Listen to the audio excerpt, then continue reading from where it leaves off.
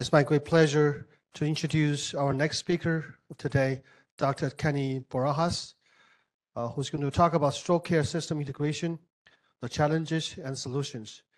Dr. Barajas is the Chief of Office of Care Integration from Maryland Institute of- for Emergency uh, Medical Self Service Systems. He is responsible for the office that monitors and designates 150, 105 specialty programs in the state of Maryland, including adult and pediatric trauma centers, perinatal and neonatal referral centers, cardiac intervention centers, stroke centers, freestanding emergency department. He, he enjoys helping organization leaders and clinical stroke teams to continuously improve patient care and patient outcomes. He wears many, many hats. Besides that, he's also part of the Joint Commission, uh, senior surveyors. So we had the fortune to work with him in the past. It's our honor to welcome Dr. Kenny Barajas back to tell us the system integration solutions and challenges. Thank you, Kenny.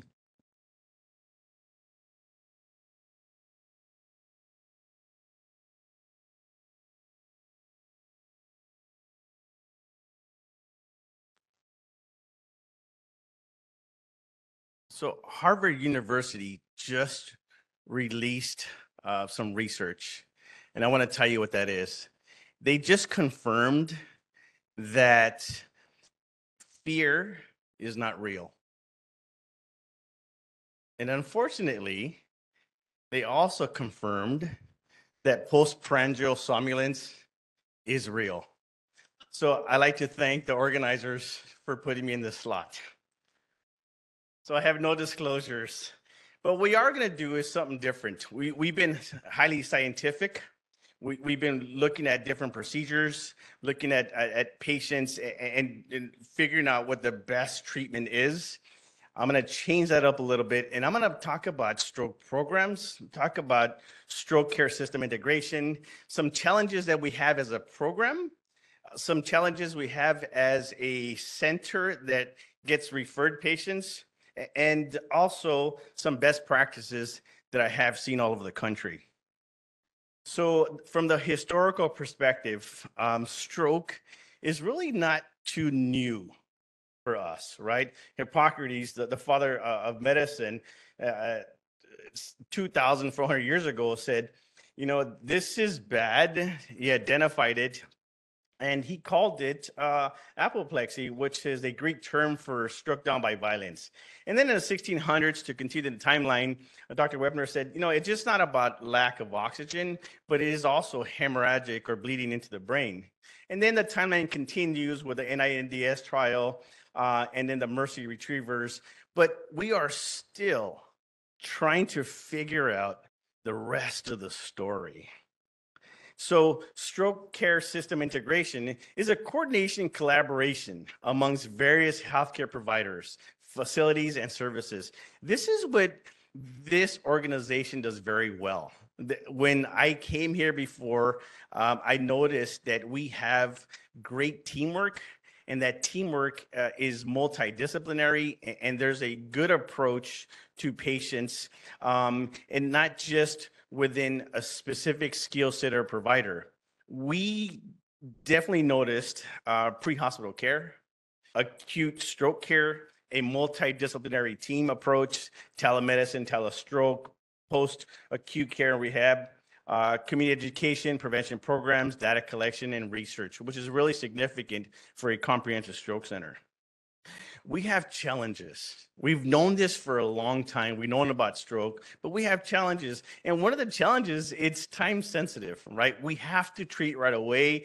Most patients that have a stroke don't come to us right away. So it's, we have to go out and and seek the opportunity and convince people that are having a stroke to come into hospitals so we can treat them right away. And, and we have access to specialized care challenges. Uh, we have reperfusion therapy eligibility challenges, right? What do we do for the folks that are ineligible for reperfusion? How do we treat them? Where are we going with that when most people don't come in in time for us to treat them? Post stroke rehab. How can we develop something uh, that addresses the physical, the cognitive, and the emotional needs of what we need for our patients? Secondary prevention, they came to us. Now, how do we prevent the next one? And we have to start addressing the disparities. And we know recent documentation talks about disparities, and, we need to target that population and really fix it um, so we can move forward. But not only do we have challenges, we have newer challenges or new challenges. So we know what to do. We know what things need to happen. Do we have the resources for them to happen? Do we have the right equipment, the right medication? Do we have the staffing? Are they trained well enough? Do we coordinate the care between departments? Do we assess the equity? Do we focus on continuous improvement? Do we have the data? Do we have the research? Do we analyze what we have to come up with what's next? Are we truly educating the public? Are we truly educating our healthcare providers to identify stroke? Our point person in the ER, the triage nurse, do they know how to pick up strokes?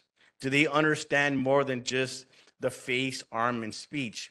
Do they understand the subtle things that could be occurring that leads us to a stroke, leads us to confirming or, or, or investigating a posterior stroke?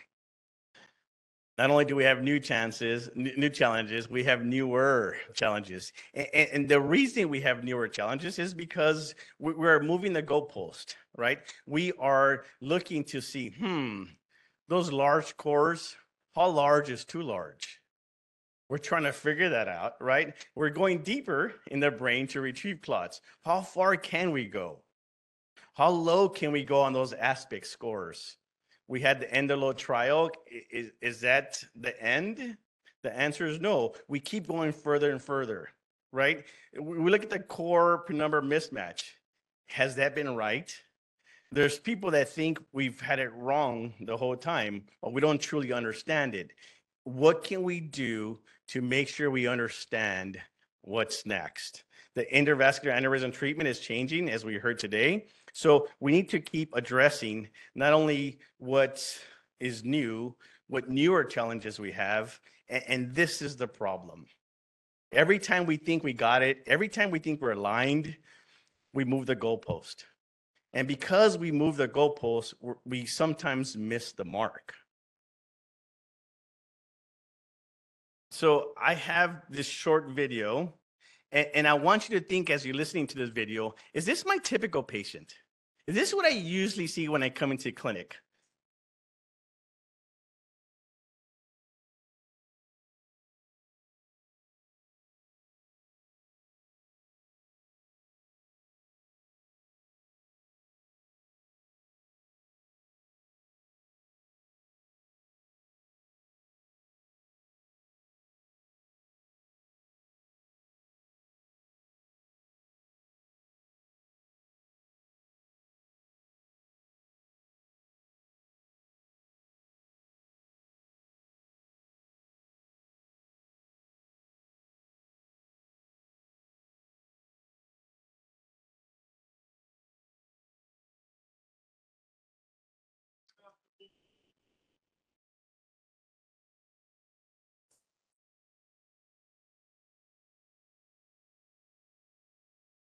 I, guess there was a problem with the video.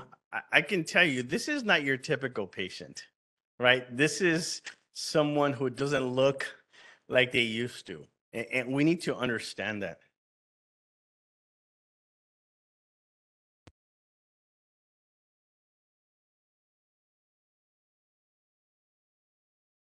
Definitely the scariest moment of my life. Model and media personality Hailey Bieber opening up about the serious health scare last month that landed her in the hospital. I was sitting at breakfast with my husband, having a normal day, normal conversation, and we were in the middle of talking.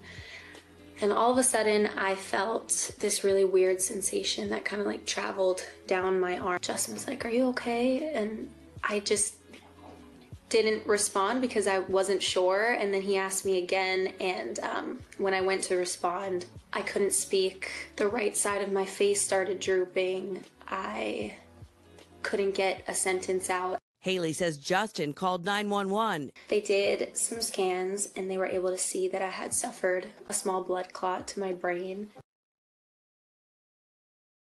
Not not your typical patient. Everybody knows this better than me. A stroke can occur to anywhere, any age, any race, any gender, any place, any time to anyone. Right? We need to change our mindset.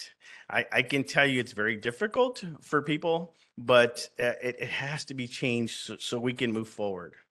So we need to go beyond the basics, right? So it's the basics and beyond. We got our golden drug right? We know the thrombolytic. We got our miracle treatment when it comes to uh, uh, ischemic strokes.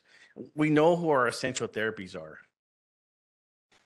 The future has the past, but we still need to move forward. We got our golden drug.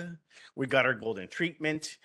Do we have all the neuroprotective therapy agents? Are we utilizing artificial intelligence, machine learning to help optimize what we have? Do we have it right? Some folks say it's not as clear as it should be, right? Do we have the right rehab technologies? Are we looking at genetic factors? Are we really focused on secondary prevention strategies? What kind of stem cell therapy, ongoing research, clinical trials are, we looking at? Today, someone mentioned the Zodiac trial. I- I- are we doing it? We did the research. Is that going to affect change? Is that generalizable? Some people argue it is, and some people definitely argue it is not. Is Librexia going to be our game changer? We don't know. But what I do know is in order for us to have a well-rounded program where it's just not physicians doing the procedure of different sorts, um, it is truly a multidisciplinary collaboration that is essential to refine and translate all our innovations into practice. So we got to have a solid process. And something I have done over 800 times across the country is evaluate stroke programs from acute stroke ready to the comprehensive level. And I can tell you this, an efficient process of stroke care is definitely associated with better outcomes reduce disability, and improve survival rates.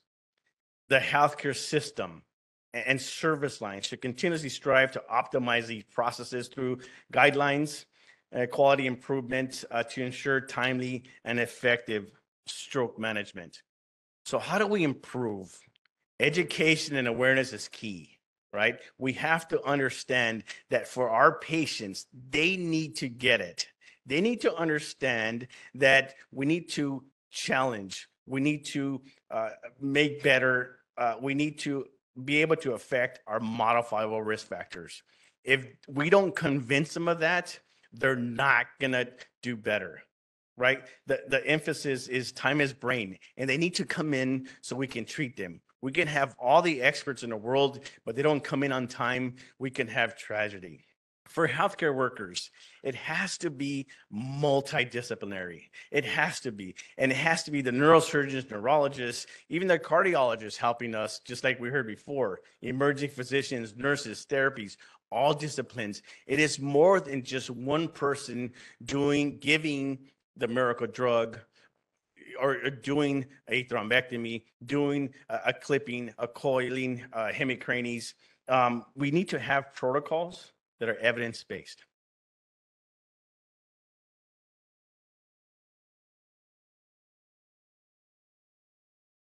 There we go. So how do we get there? We have to solve our challenges. Everybody's challenges are unique, and I'm going to show you a technique on how to truly get to where we need to get. We need to mitigate any issues and risks that we have. We have to do the research. We have to continuously learn. We have to educate what you learned. So for stroke programs, define your program, right? What services can you provide? And then do you know the manner at which you provide them? You identify challenges and solutions to those challenges. Look beyond the now, have vision for the future, and use telestroke services to help others that are not as advanced as you guys.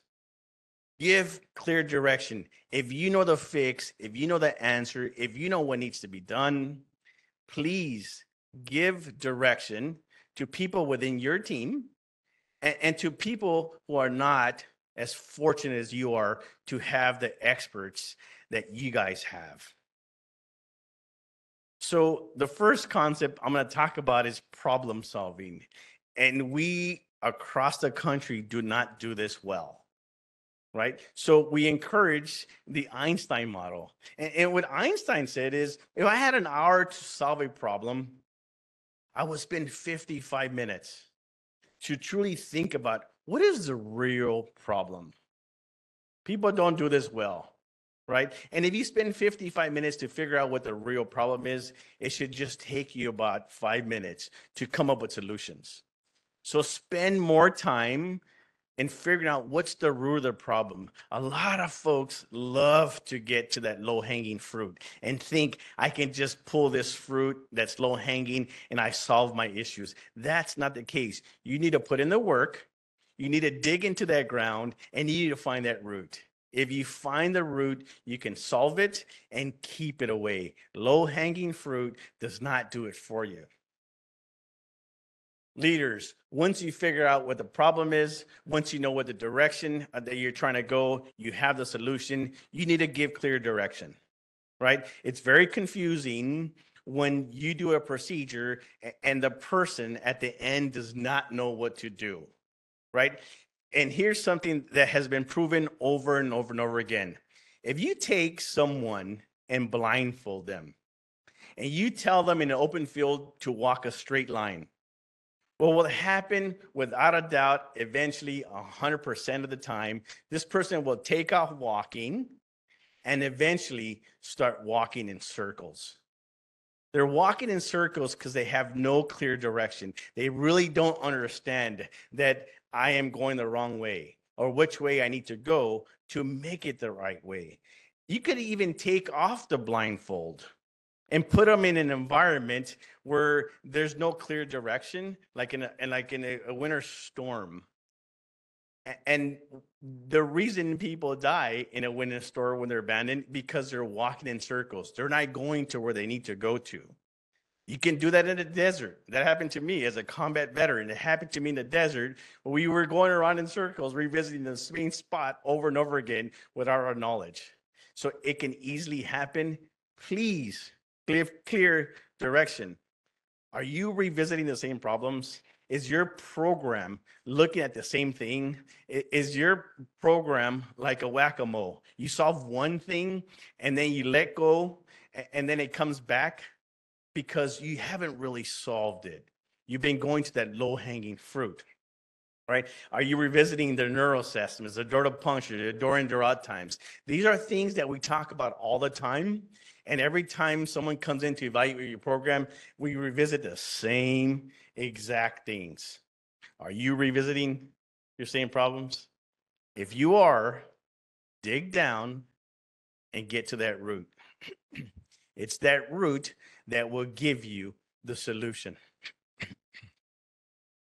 so, what am I saying? Is be the lighthouse, give true direction, and prevent someone excuse me, from walking in circles in the dark. Guide them. If you have the knowledge, you understand what needs to happen, please tell them. If you're a provider in this room and you expect something for your patient from the nurses who are right now very young, a lot of seasoned nurses have left because of the pandemic. Are you truly giving them direction? You do this great life saving procedure. Are they delivering what you need for them to deliver? Educate them, be specific, be that lighthouse, be there for them so they can deliver for you. And ultimately, the patient. Anybody know who this guy is on your left? I'm the guy on the right, by the way. the guy on your left is a man called John Moon.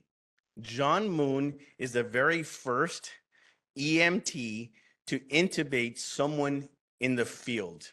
So pre-hospital intubate someone.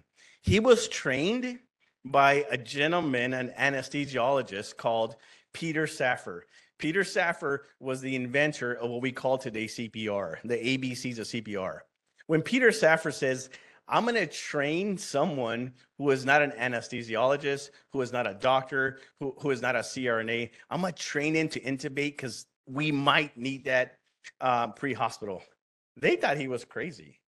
But the message from John Moon and Peter Safar was if you educate someone, if you be that lighthouse, if you can tell them exactly what you want and give them clear direction, people will deliver for you.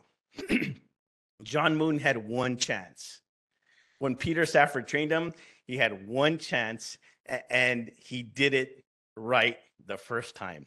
If he would have missed, the the current treatment for EMTs would have not been there. It would have never happened, right? He stuck his neck out. He was confident that if I train and I give someone the competence and the confidence and I guide them, I be that lighthouse, we can deliver. Physicians, that's what we're asking from you.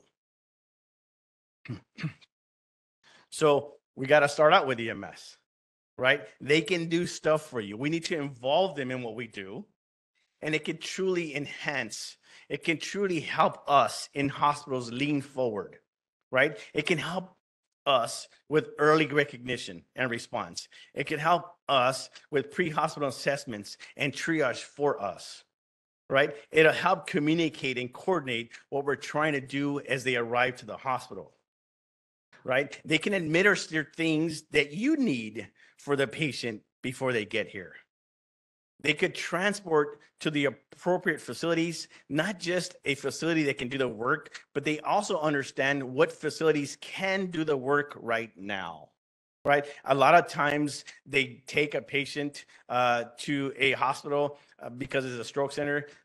The next step for them is is it the right stroke center right now? They can collect data for you quality improvement stuff. There, there's an EMS system in Florida right now that's collecting data for the stroke coordinator at a hospital. Every time someone calls EMS, they ask, Why did you call? And the response that they give, they write it down, they collect that data. And if a patient arrives to the emergency room, walk in triage, they ask the same question why the different question the opposite why didn't you call? They're taking why didn't you call? and why did you call? and, and they're collecting data and, and, they're they're really using that as their edu- educational campaign for stroke patients or potential stroke patients they can also provide community education with you and prevention public education is so important right you guys know this better than me right? It's the hypertension, the high cholesterol, the AFib. We talked about that today. It was a wonderful lecture, right? The smoking, the obesity, obesity, sleep apnea, drug and alcohol, the importance of calling 911, time is brain. We need to stress that. I'm going to talk to you about as I travel across the country, I do see uh, community events by programs.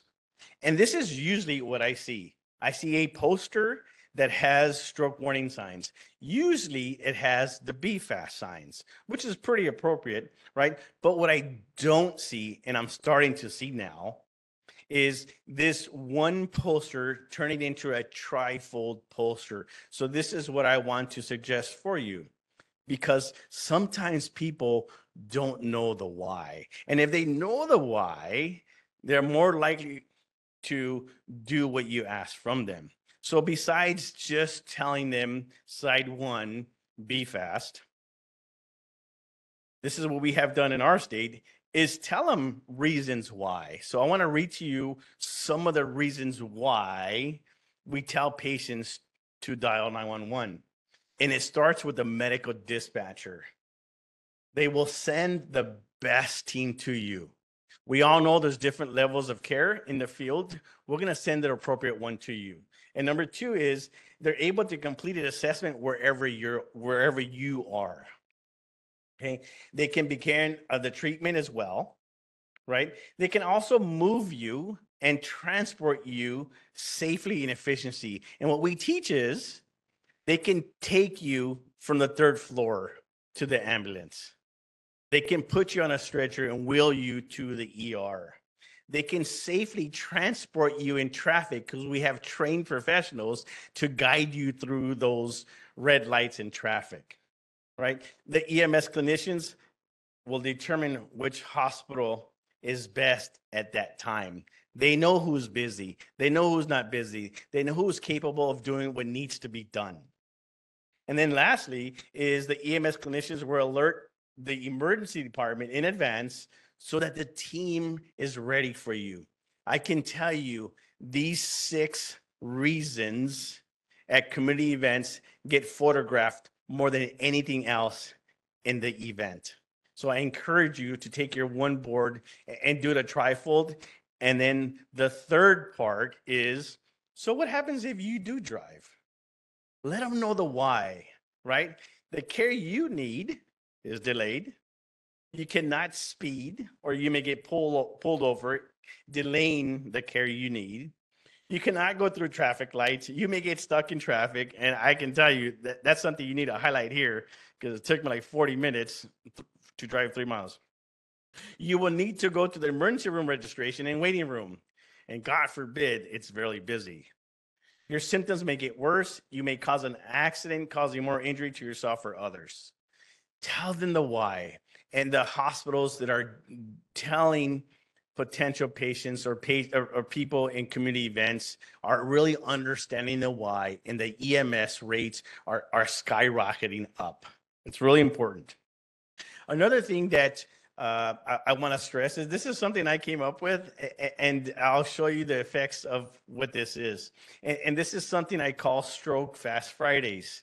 As a former ER director, um, I, I- I was like, how do we bring these people in? How do we truly get people to understand our message?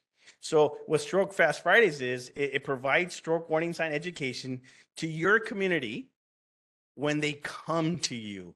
And this is what I mean. I directed everybody in my state, I directed everybody in my ER that every Friday, regardless of what someone someone comes to your hospital with or for, to educate them and say today is Stroke Fast Fridays. While you're waiting for lab results, while you're waiting for rad results, while you're hydrating someone, take 30 seconds of someone's time and say, I'm going to teach you about stroke warning signs, regardless of they're there for. That's your community. They came to you for a reason. Sometimes it's medical, sometimes it's injury, but you're teaching someone in your community that came to you on what to do, right? You can even have leaders as they're rounding on the floors upstairs adopt Stroke Fast Fridays. Right? Every patient that comes to a clinic, regardless of what that clinic is for, if you're all in, you teach stroke warning signs. This is your community. These are your people. This is the message that we want to give and tell them the why as well. Here's an example of how many people you can reach. Just imagine a hospital that sees 70,000 patients per year. That's 10,000 patients or folks that you can teach. Usually they come with someone, so we'll multiply times two. That's 20,000 of your community members that came to you. So take that opportunity. Teach them to come to you. Because if they come to you, you can do what you do best the gift of medicine. So, how did I operationalize it? I want you to consider this. I made every nurse, every leader wear a badge buddy, and behind it, I had a QR code. And not only did I teach them stroke warning signs, or are they teaching stroke warning signs, I have them take out their phone, I have them scan the QR code, and now the message that I just gave them, they have on their phone permanently forever that they can refer back to it anytime. So, my QR code that I created for my folks has been opened 24 million times.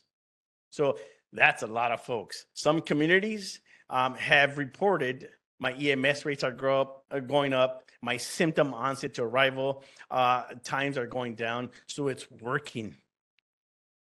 So Stroke Fast Fridays is beyond Stroke Awareness Month. I appreciate you guys having me here. I appreciate what you're doing to teach, uh, and, and it's been a, a great curriculum so far. There's 18 million healthcare workers in the United States.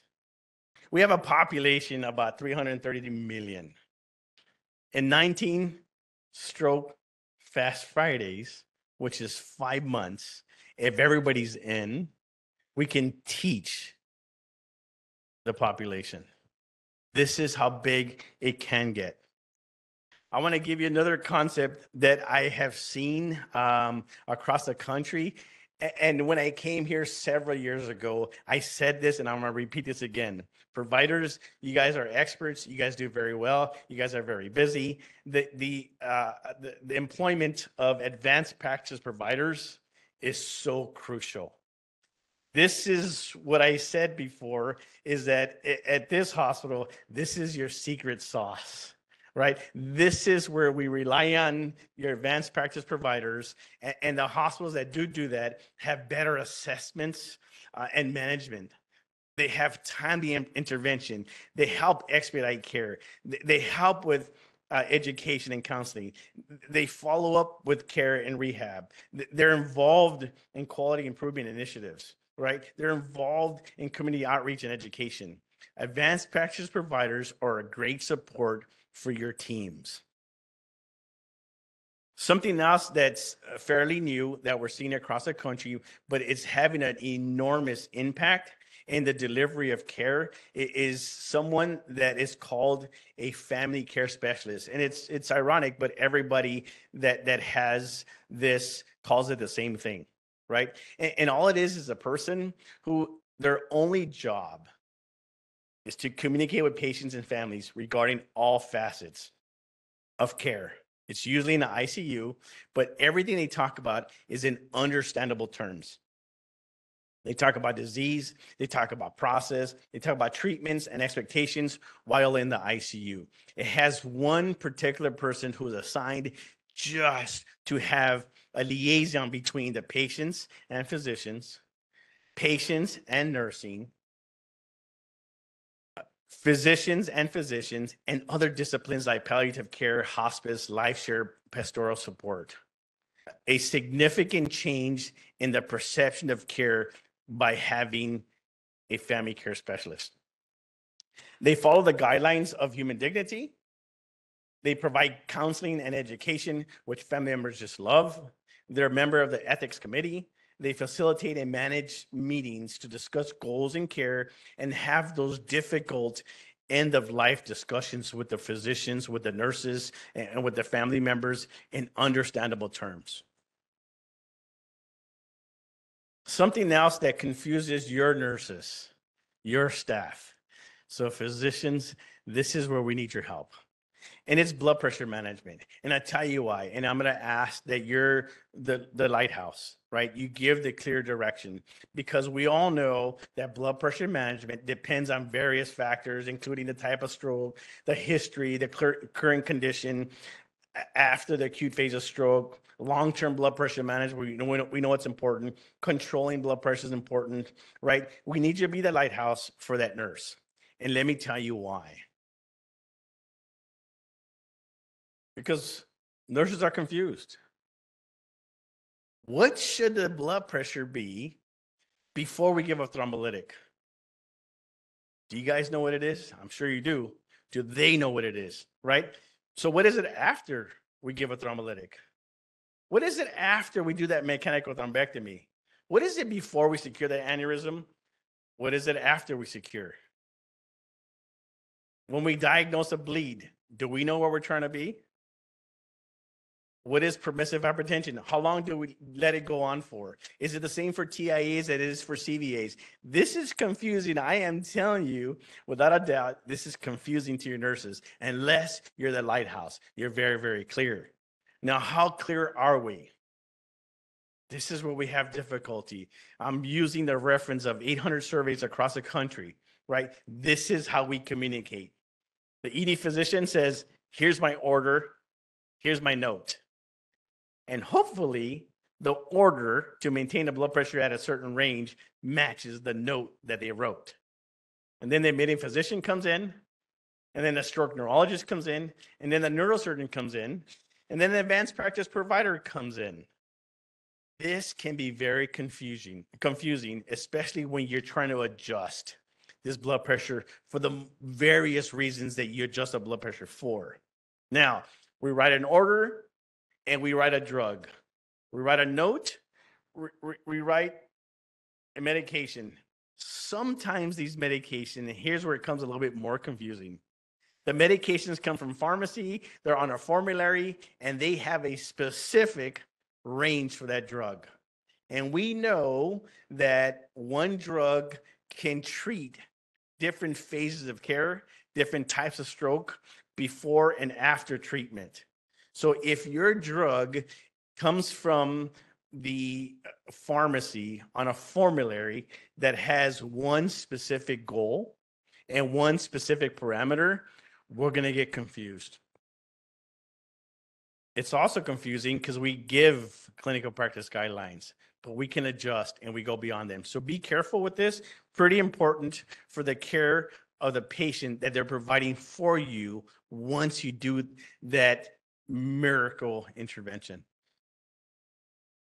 Something else that's really important that we see across the country is a follow-up clinic. Clinic. We can't let these people go.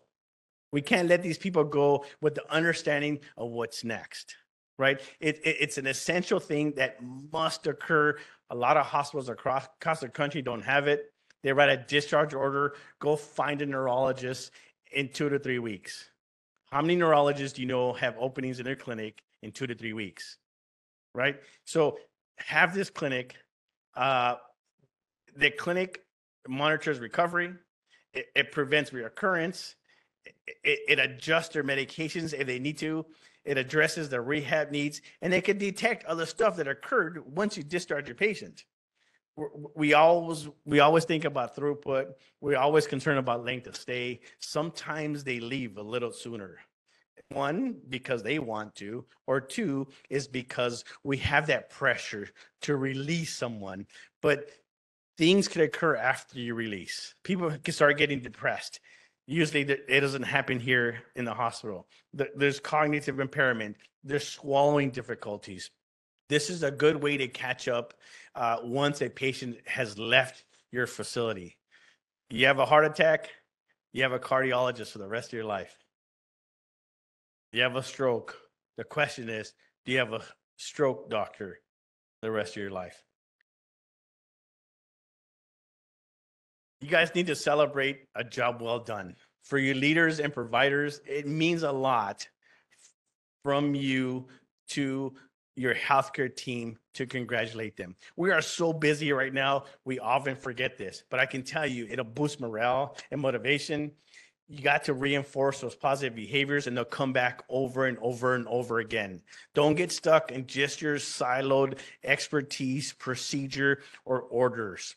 These are human beings that work hard day in and day out for you and for the patient, right? Recognize them, get that team building, right? Positive reinforcement. They'll stay. If you treat them right, they'll stay. If you don't, someone else will, right? Have a culture that is positive and supportive, and, and it'll deliver for you. I want to talk about the art of medicine. You guys talked about the science all day and did a phenomenal job. And you'll get back to that after this this lecture here. But the art of medicine is just as important, right? It's the intuitive, empathetic, and compassionate aspects of healthcare that go beyond the scientific and technical aspects. There is an art to medicine. Don't lose that it involves the humanistic elements of patient care. They're not just the guy in a room 12, right? It, it, it emphasizes the importance of human connection, empathy, and understanding in the practice of healthcare. It is essential for providing the holistic patient centered care. Let me tell you something. We did a study A patient goes to the ER. We said, what do you expect? What do you want? What do you want from the ER? The first thing they write down is, I want to see the doctor. They want prompt attention. The second thing is they want compassionate and respectful care. The third thing is uh, clear communication and so on and so forth. Look, look at what the sixth thing is on this thing. Appropriate diagnosis and treatment. Now, is it off? Yes, right? That's what I want. I want you to treat me right, diagnose me right, so I can have a better outcome. But when you truly look at them, and we had a nice conversation uh, um, yesterday at dinner, we were talking about uh, a study uh, that that asked people, "Would you want to be disabled for the rest of your life, or, or you want your life to end?" And I'm paraphrasing. And most people that didn't have a stroke says, "You know what? I don't want to be disabled for the rest of my life." You know, but once they have a stroke, right? They, they think differently, save me, right? In the art of medicine, we need to focus on what we need to do, which is the sixth line, appropriate diagnosis and treatment. But we also need to give for patient family centered care, it is the things that they ask for as well. So they ask for empathy, compassion, they ask for communication, they ask for great judgment, sensitivity, uh, in the life care and, palliative medicine. We all know what the golden rule is, right? You treat someone how you want to be treated. It's it's a journey into the way you think of, feel about, and speak to others. That's been replaced by the platinum rule, which is it's really more uh, how you know what the how the people want to be treated, not how you want to be treated right? It's never about what you say. It's always about how so, you make someone feel. So please remember that. There's this lady called Jean Watson, the theory of, she created the theory of caring, right? And she shows that people want, love, enjoy, need to be cared for. They, they want you to talk about not only the diagnosis and prognosis, they want you to understand or they need to understand that they're supported, that they're informed, that they're involved in their care, that the pain is addressed, sleeping patterns, bathing, and, and food. As a clinician, we truly believe that I'm going to provide you the best treatment. Let me tell you, these are other things that they ask for, right? So, I, I, a quick story is my grandmother was in her deathbed. She's from California. I'm from Baltimore. I called the ICU nurse and I said, How's grandma doing? And what she told me was, She's not doing well. She doesn't have that much time left. And then she told me, I combed your grandmother's hair today. And let me tell you, my grandmother, for about 70 years, every Friday, she would go to the hair salon and sit there all day because her hair was her thing. She would sleep in a chair Friday night and Saturday night so she won't mess up her hair. Because Sunday morning at church, that was her thing. That was the platinum rule. They figured out what was important to her. They communicated that to me. And you know how good I felt? I asked the family care specialist, I say, Is grandma eating? And her response was like, Your grandma hasn't eaten in 24 hours. My response to her was like, She's going to die. You're not feeding her, she's going to die. The family care specialist came back to me and says, Kenny, she's not dying because she's not eating. She's not eating because she's dying. Once I understood that, it made a lot of sense. I felt better. And she had 24 to 36 hours left. It meant so much for me, to me, that she understood the platinum rule and really explained to me what was happening when I was in a very emotional state. Another thing that we need to understand is the term competence versus confidence, right? They complement each other and are essential for what you guys do. It's often beneficial to do both of these, right? Because if you had competence, but you don't have competence to do what you're doing, then we have a problem. And vice versa. If you have the confidence, but don't have the confidence, then we're in trouble. Who has both? How can we be the lighthouse for the people that are providing care for your patients and give them the tools they need to be competent and confident in what you need them to do? It's really important. I want to talk to you about something that uh, is coined a stroke smart state. In, in a stroke smart state, there's only two in the country, and there's a bunch that are moving forward with this, right? In a stroke smart state is a public health initiative to reduce pre-hospital delays and increase timely stroke treatment through simple education and actions. And this Stroke Smart State initiative, there's only two in the country right now, starts with a government proclamation at the gov- at the governor level. So let me show you what that means. Right? What does a proclamation do? It shows government commitment. It shows community commitment. It shows health system partnership. It introduces you and your team and your healthcare system to other agencies that can support your initiative. So how do you get a proclamation? It starts with anyone from your organization, from any leader. And it goes up to the government. This is a proclamation that my state obtained. We're the second one in the country. And, and, and this allows us to do so much. And I'll explain. This is my governor saying, I am proud to call Maryland a stroke smart state.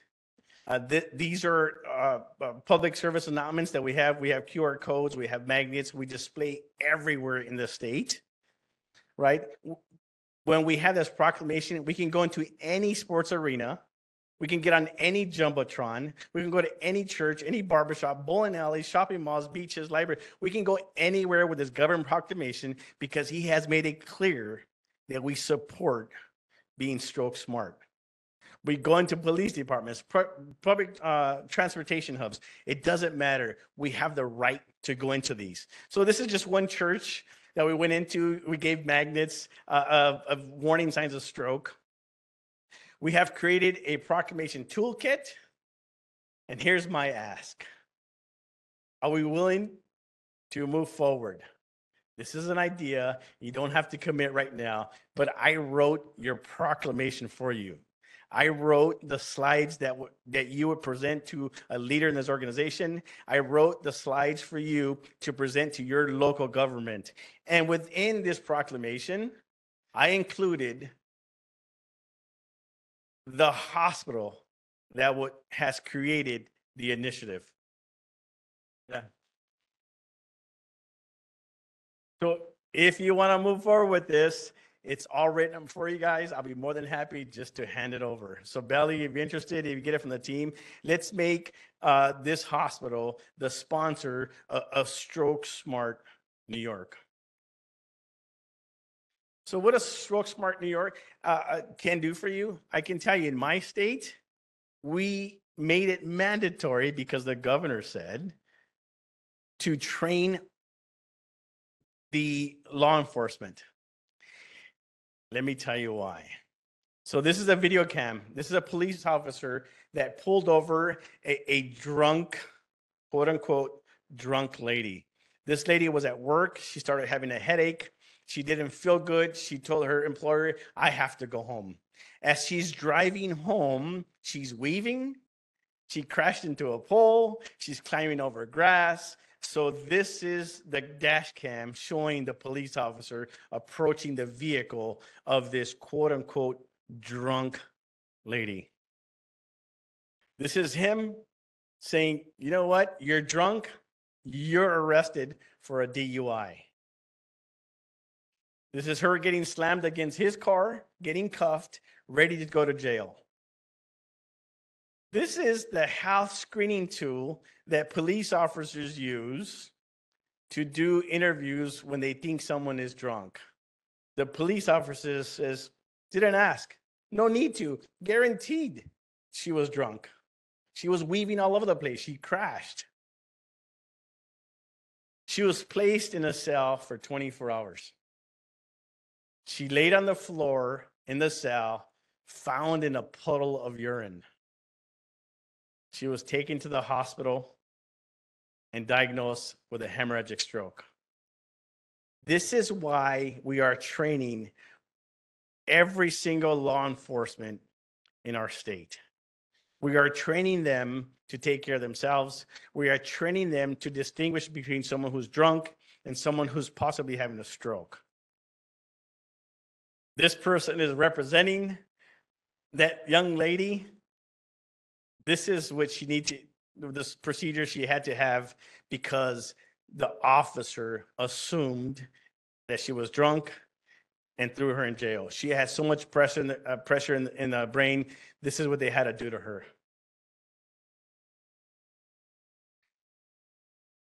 I know that stroke patients are hard work. I know we have to have quick. We have to act quick. I understand that they require a lot of patience. I know the treatment requires intentional skill, of science, and now you know of art. If they live, they have a hard road to recovery. If they recover, they're never the same. You guys know this better than me, right? There's a 29% chance that patient that you're taking care of may not be alive in one year. And if they're greater than 65 years old, there's a higher chance that they will not be alive in one year. 31% need help taking care of themselves. A third of them develop depression. 20 need 20% need some assistance for walking. 16% will never get to go home again. Here's my message to you. Families pray for you to do your best. That's all I'm asking. Let's do your best. You don't have to be perfect to be awesome. You can strive for it. Do your best. Your talents are someone's gift. Each person is so real with true feelings and needs. Each person is loved so much by someone you will never, ever meet. This is the responsibility that you gave yourself joining the profession and joining the skill that you chose. These people are real. Create stroke thrivers, not just survivors, right? I want you to make those last memories great ones. They deserve it. They want it. It's been my pleasure, my privilege, and my purpose to talk to you today.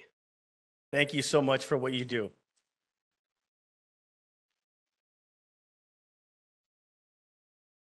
Any questions? Thank you so much, Dr. Barajas, for that amazing talk. That's really touching a moment for us. Uh, really uh, summarize what uh, we're all here uh, for a purpose to help the patient. That even though they may be strangers to us, we never met before, but they are loved ones for someone, and we're here for as a mission, as a team. And what you provided not only is a roadmap for us from not only institution-wide, but also system-wide, from statewide, how to deliver care more efficiently, more effectively to our patients, but also putting onto a humanistic touch to this, the art of and the human aspect of patient care in stroke patients. That's amazing. Thank you. Thank you. Any other questions? Kenny, thank you again. Galina, nurse practitioner on the stroke.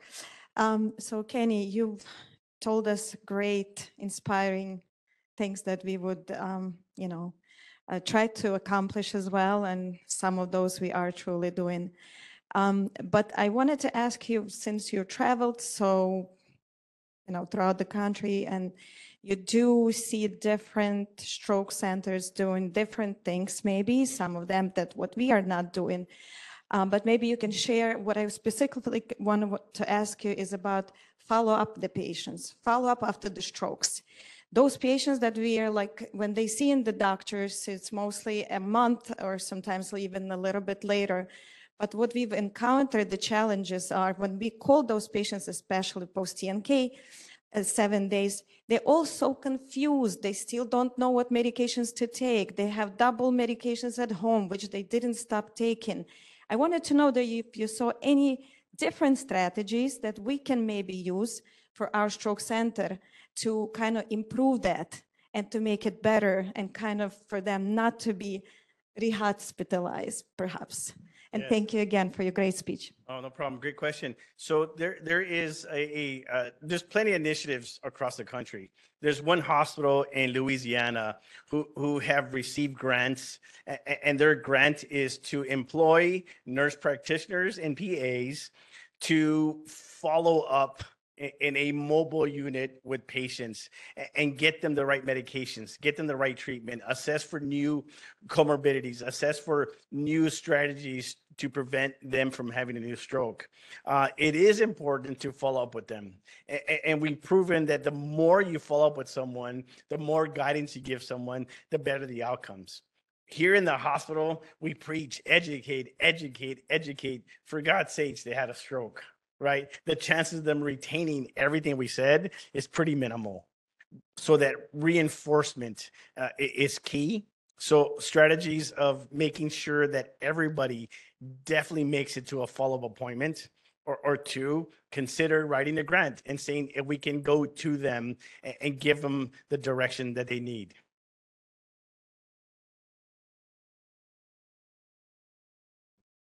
No more questions? Thank you again, Kenny. Appreciate that.